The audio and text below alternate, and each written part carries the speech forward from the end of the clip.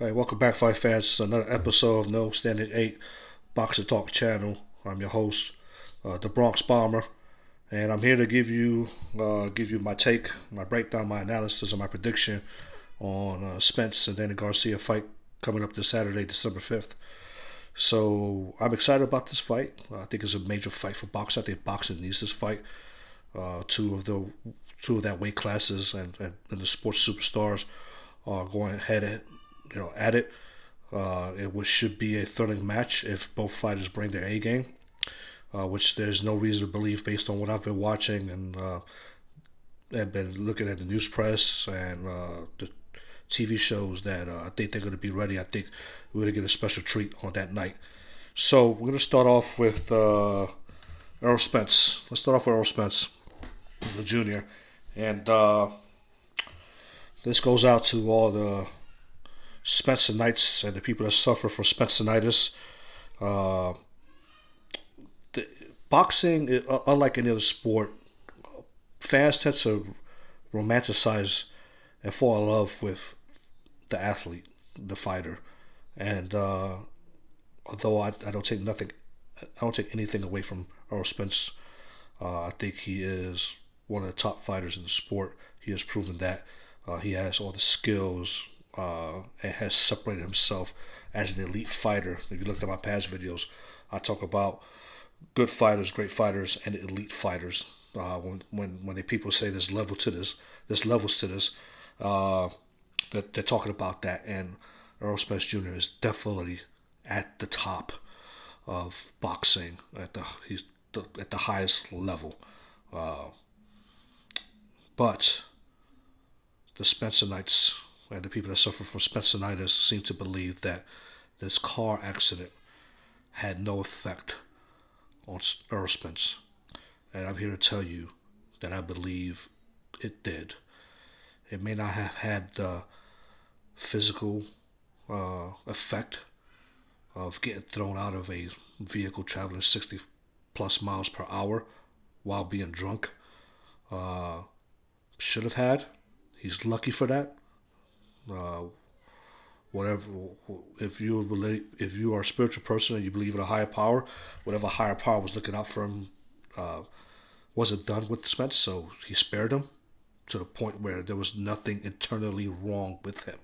But he did suffer some physical injury as the pictures that were released later show burns bruising. I mean he just stepped in a ring. He didn't even make a public appearance for almost 30 days uh, after the accident. Uh, he didn't make, he didn't actually step into the ring to almost 90, if I'm not mistaken, days into the accident. That when he did, it hurt. So he suffered something. Uh, psychologically, I think he suffered probably more. And we will not know until fight night we will not know what Earl Spence we're getting until fight night. Unfortunately, uh, I wish I could take his word at face value, but unfortunately, the type of accident, uh, and I don't believe that it was more horrific. It looked more horrific than what it was. No, it was horrific, and it was horrific. Uh, so we have yet as fans to see how this has really affected him both physically and psychologically. We have not seen, or at least I have not seen, any sparring footage. Uh, we don't know who he's sparring with. We haven't seen seen very little training footage. They only show us what they want us to see. So what really is and what they want us to see are two different things. And remember, they want your money, so they're gonna paint a whole different picture. So we don't know what Earl Spence Jr. we're going to get until fight night. But the Spencer Knights that suffer from Spenceritis will will believe that he's unfazed and that nothing uh, has happened. We're going to get the same old Spence, and we're not going to get the same old Earl Spence. We're going to get a very we're going to get an effective version of him. Uh, I believe he was he's young enough to have overcome the physical uh, trauma that came along with the car accident. the psychological trauma. You know, each person's different, and uh, uh, but we'll see. Uh, but he definitely looks good. He sounds good. He's talking a good game. Uh, and the fact that he did not take a tune-up fight, he went straight into this fight, uh, leads me to believe that uh, uh, he believe he believes himself, and that's key. Confidence in going into the ring and believing yourself is number one. Uh, so that right there uh, is enough for me to go on and and and analyze him as if nothing ever happened because of his confidence and the fact that he's fighting a top fighter. And for those of you that say Danny Garcia is not a top fighter in that division, you're crazy. Okay? Just because he doesn't appeal to you as a person or as a fighter doesn't mean he can a that he cannot fight, uh, and and b that he cannot win this fight because I believe he could do both. Uh, but there's certain things that have to happen in order for that for Danny to win this fight. So Earl Spence Jr. If it's the, I'm going to give him the benefit that I'm going to analyze this fight as if Earl Spence Jr. did not suffer a, an accident because of his confidence, because he's fighting a top uh, elite fighter in the weight class with no tune-up fight. So here it goes. Uh, Errol Spence Jr. has obviously the more skill set, better skill set than Danny Garcia does. Uh, he does. Errol Spence Jr. does everything well. Okay, he's fast, he's powerful, he has good footwork. Uh, he doesn't really when when he wants to, he doesn't put, put himself in positions to get hit. Uh, he and when he wants to, he boxes beautifully. Okay, keyword being here when he wants to. All right. Uh, so all Errol Spence Jr. has to do is beat Errol Spence Jr. tonight, and he'll beat Danny Garcia. That's all he has to do, is beat him. Which him are we gonna get? Are we gonna get the very smart? uh, Errol Spence Jr. is going to put a fight plan together to uh, to take into consideration Danny's counterpunch skills, Danny's accuracy, and use all of his skills combined to put on a beautiful boxer puncher boxing match to beat Danny, or is he going to get suckered into a brawl like he's done in the past and forego all his boxing skills and go back for for this trade of, of, of punching? We don't know. We don't know. I'm hoping the earlier version of what I predicted, of what I said Errol Spence Jr. was. Danny Garcia. Danny Garcia, uh, again, top fighter in the welterweight division, uh, a world champion, and what Danny does well is wins wins fights that people don't expect him to win. Okay, uh, but he did that at the lighter weight class. When he moved up to welterweight, he found it a little tougher uh, to do that. Uh, however, Danny Garcia has never really been, has never, he's lost a fight on paper. He's never been, been really been out of a fight. I mean, you could argue this either way. Okay, but he came on very strong towards the end of the Thurman fight, which closed that gap significantly, the lead that Thurman had early in the fight. Or he eked out a draw, or he even eked out a win. You can make the argument for all three scenarios the the I, I believe it was a split decision between Thurman.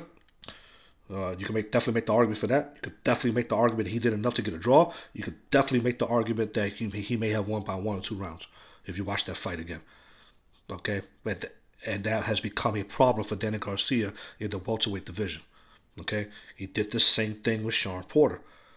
All right, he you know he was a little bit more aggressive in Shawn Porter fight. Uh, I believe I believe he actually won that fight. So for all intents and purposes, Danny Garcia, in my opinion, should only have one loss, and that's the Keith Thurman loss on his record. Uh, but uh, but I believe he he he beat Shawn Porter. But again, he didn't do anything to separate himself, especially at the higher weight classes where punches are harder and it's easier because of puncher power to show the judges degrees of separation in between rounds. Okay, and he did not do that with either Keith Thurman or Shawn Porter. And that's the problem we have with Danny Garcia. He starts too late. Okay? He's a counterpuncher. He's a he's not he doesn't have all the skill sets that that Earl Spence has, but he does well he he's a very technically sound fighter. He does he applies the techniques and the science of boxing by the book. Great jab, great straight right. Uh, not great, technical jab, technical straight right, technical hooks that find their mark time and time and time and again. Okay, so Danny either beats you with well placed punching, some and and, and sometimes so well placed that he just knocks you out. Uh, hasn't happened in the welterweight division yet, but Danny has that kind of uh, combined skill puncher power. He puts certain certain things. Certain, for example, if you put certain uh, chemicals together, you you know you, you you get an explosion, right? Well, if Danny puts certain things together, it leads him to be a harder puncher than what people give him credit for. So, what's going to happen Friday night? Well, if you watch the press conference, uh, I think the more prepared fighter in terms of doing their homework and doing the research is Earl Spence Jr. Believe it or not. They went in there and they said it. No, we watched tape on Danny Garcia. We have a fight plan. We have been prepared for this. And then you've got Angel Garcia, on the flip side, said, we I'm not worried about what's going on in, in, in, in Errol Spence camp. We haven't watched no fight footage. We didn't do anything. Uh, and that's concerning to me because that means Danny Garcia is going to go in there with the same fight plan that he's had, that he's bought. I think the Garcias believe uh, if it ain't broke, don't fix it. But it's but it's broke somewhere. In their minds, they're, they're like like Angel said. In my mind, we lost on paper. We didn't lose in the ring. The losses are on paper, and I own them because they're actual losses. But in Angel Garcia's mind, his son didn't lose those fights. So he didn't do anything to change how he prepares for fighters or does anything in the fight plan. And I think going into Earl Spence, the Earl Spence Jr. fight, that's dangerous. Uh, because of what Earl Spence, and again, I'm telling you, I'm, I'm judging Earl Spence pre-accident. Uh, because of what Earl Spence brings to the table. He could decide to brawl you, he could decide to box you, he could hit you downstairs, he could you upstairs, both with power, both with grace. Uh, nothing to the likes of that Danny has seen yet. Because Keith Thurman is good. I don't believe it's Earl Spence good. And Shawn Porter is definitely not Earl Spence good. Uh, but he but he he gave Earl Spence a tough fight though. And Shawn Porter's just game like that. He's gonna give anybody a tough fight. So yeah, I think for Danny Garcia to win this, to give himself a shot at winning this fight, uh, he should have reached outside, got himself a different trainer, bring in, give him a different look, uh, to to change something. There's something from the transition to the welterweight division that's not letting him climb, supersede that mountain. Okay, says he's peaked at the welterweight division, and there's something that's missing in his arsenal for him to surpass it. And I don't think it's going to be any different this Saturday night. Uh, I think Danny Garcia, I think Earl Spence Jr. is going to win by the unanimous decision. Uh, maybe a split, depending on what kind of Danny Garcia we get. Uh, if if Danny Garcia makes the adjustments, if Danny Garcia, uh, so let me back that up. Uh, I already gave you my permission, but let me tell you why I believe this. So if Danny Garcia, the, key, the keys to, to Danny Garcia's victory I believe, is to pressure Earl Spence early. Let's see how much this accident has affected him. Let's see what his sparring sessions look like. Let's see what his win looks like. Let's see what his psychological makeup looks like. Okay, he has to go in there and jab his way into the inside and force Earl to fight him. And I think if Danny fights that fight, uh, I think he gives himself a better chance of winning. All right, and Earl's uh, keys to victory. He just he he can't go in guns blazing because Danny's a counterpuncher. He's a very good one at that, and he's a very accurate puncher. Uh, but then again, he can't lay on the ropes and wait for Danny to attack because he may not attack. So Earl has to be prepared for two Dannys. You got to be prepared for the Danny to try to exploit his injuries, if there's any lingering injuries from the car accident, or uh, he's got to have to fight counter counter fighter Danny, and, and in that case, he's gonna have to you know pop Danny every so often, force Danny to engage, make him believe that he's gonna engage, and then use angles and move move out of Danny's way. Because we all know Danny doesn't have the best footwork, so Earl could could exploit that. Okay, so pop shot him, make him believe that you're gonna engage into a brawl, and then move out of the way. Use angles and keep him at bay with jabs and long straight rights, uh, and don't let him come in. So those are the keys to victory for both fighters. So if Danny applies his fight plan, I think he will uh, give us a better fight than we expected, and then something unexpected may happen, like Earl Spence may get knocked out, or he may uh, hit Earl more cleanly than ever before and eke out a decision, which I don't think is going to happen. So my prediction is going to be that Earl has done enough homework to fight a guy like Danny Garcia. I believe Earl is not going to be the the brawler slash puncher that we saw against uh, Kell Brook and uh, Shawn Porter. Okay, I believe Earl is going to be a little bit more calculated, a little bit more deliberate, and he's going to win by unanimous decision. That's my prediction. Take it to the bank. Uh, that's my story. I'm sticking to it.